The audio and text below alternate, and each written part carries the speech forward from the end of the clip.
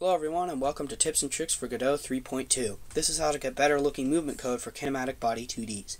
So, this is the default movement code. Looks like this in game. It's pretty standard as long as it just tells it to move. So, this is what it looks like. We get movement speed, a velocity, and then we just grab the velocity again for some reason. And then, if the input is whatever button, do this four times. Then we do we normalize it and take that normalized value and multiply it and that's the by movement speed and then that's our velocity. Then we get the input every frame with physics process and then set the velocity to move and slide of the velocity. This is terribly inefficient.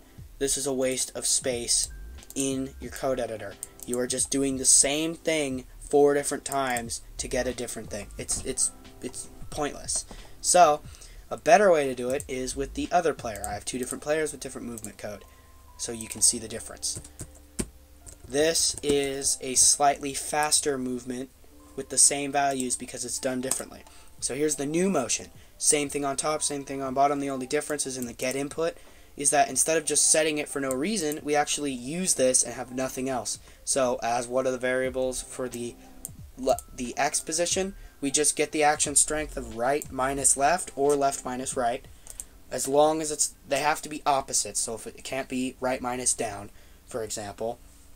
And then for the y, we do down minus up, and then we multiply that by the movement speed, and then it's the same on the bottom. We get the input and set the velocity of this.